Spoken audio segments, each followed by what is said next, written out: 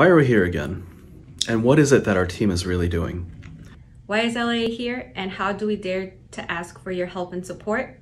We are here because we dare to hold the U.S. government accountable. Yeah. We ask for your help and support to do what they have promised to do for our country and for immigrants and for people seeking refuge. We dare to listen to the stories of our neighbors who come to us with the hope of seeing their children, their parents, and their spouses again. We dare to make West Michigan a place where immigrants truly thrive in the fullness of their authentic selves. We dare to go to court to defend a migrant's legal right to seek asylum, to find safety, to achieve stability, to reach a place of promise, opportunity, and dreams. We dare to walk alongside our clients as they face a system that emerged from fear rather than inclusion. We dare to carry the weight of loss with the clients whom we have the honor to serve. We at LIA are here to serve as a beacon of light and hope to West Michigan. We are here to be a modern lighthouse helping immigrants find their way across borders.